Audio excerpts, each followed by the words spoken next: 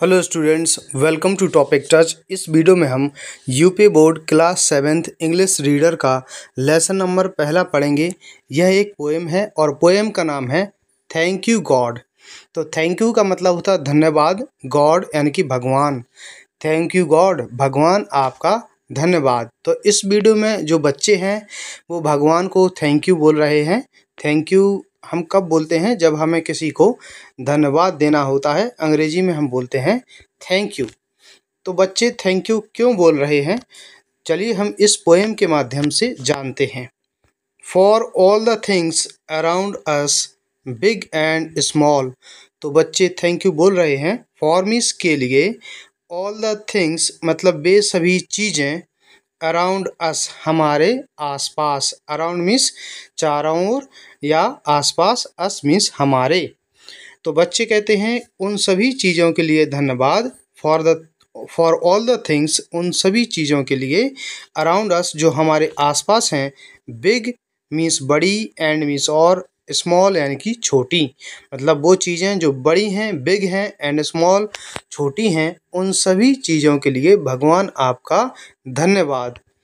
For all the creatures for means के लिए all the creatures मतलब वे सभी प्राणी क्रिएचर मीन्स प्राणी जीव जंतु ऑन दिस अर्थ इस पृथ्वी पर इस पृथ्वी पर उन सभी प्राणियों के लिए धन्यवाद, जो कि शॉर्ट एंड टॉल, जो कि जो प्राणी शॉर्ट छोटे हैं एंड टॉल और लंबे हैं, उन सभी प्राणियों के लिए भगवान आपका धन्यवाद।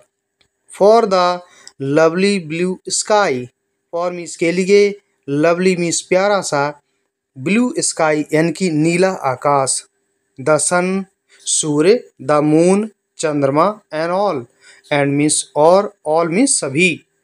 तो किन चीज़ों के लिए धन्यवाद?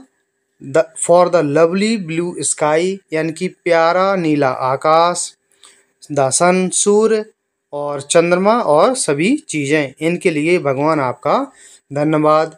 ऑल माइटी गॉड यानी कि सर्वशक्तिमान भगवान वी थैंक यू वी मतलब हम थैंक यू आपका धन्यवाद करते हैं। And to you we call और मतलब हम आपको बुलाते हैं, पुकारते हैं। मतलब सभी बच्चे आपको धन्यवाद करना चाहते हैं। Bless each one of us bless means होता है आशीर्वाद देना। ईच मतलब प्रत्येक ईच वन ऑफ़ अस पूरे का मतलब होगा हम सभी को। तो हम सभी को आशीर्वाद दो। In your name as we pray in your name आपके नाम में एज वी प्रे जब हम प्रार्थना करते हैं। मतलब जब हम प्रार्थना करते हैं, आपके नाम को पुकारते हैं तो हमें क्या करो? हमें आशीर्वाद दो। Give us love kindness and courage day by day give मतलब दो अस मीन्स हमें लव यानी कि प्रेम काइंडनेस दयालुता एंड करेज साहस day by day day by day का मतलब दिन प्रतिदिन। तो हमें दिन प्रतिदिन लव, प्रेम काइंडनेस दयालुता एंड करेज और साहस दो। इसके बाद आगे देखते हैं। मे वी लिव जब भी मे आता है बाक में, इसका अर्थ निकलता है, भगवान करे वी लिव हम जिए इन पीस शांति के साथ and harmony and harmony harmony यानी कि तालमेल बैठा के या मेल जोल के साथ। तो may we live in peace and harmony तो भगवान करे, हम शांति और मेल जोल के साथ रहें। Where we stay where means जहाँ वी वी मतलब हम स्टे यानी कि रहते हैं। जहाँ पर भी हम रहते हैं, वहाँ पर हम कैसे रहें? पीस शांतिमय रहें और हारमनी में यानी कि मेल जोल के साथ रहें, यानी कि एक दूसरे से मिलकर रहें। हारमनी मतलब मिलकर चलना लड़ाई झगड़ा ना करना। Give us the strength to serve you give मतलब दो अस मीन्स हमें द स्ट्रेंथ ताकत टू सर्व सेवा करने की यू मतलब आपकी। तो हमें आपकी सेवा करने की ताकत तो स्ट्रेंथ दो कम वॉट में चाहे जो कुछ भी हो, ठीक है ना? चाहे जो कुछ भी हो मतलब हम कैसी भी परिस्थिति में हो, बुरी परिस्थिति हो, चाहे अच्छी, हमें आपकी सेवा करने की, आपको सर्व करने की स्ट्रेंथ दो, ताकत दो। We be with us O God be मतलब रहो विद अस हमारे साथ ओ गॉड ओ गॉड यानी कि हे भगवान हे भगवान या हे ईश्वर बी विद अस हमारे साथ रहो। In what we say and do in what we say यानी कि जो कुछ भी हम कहते हैं और जो कुछ भी हम करते हैं डू मतलब करना।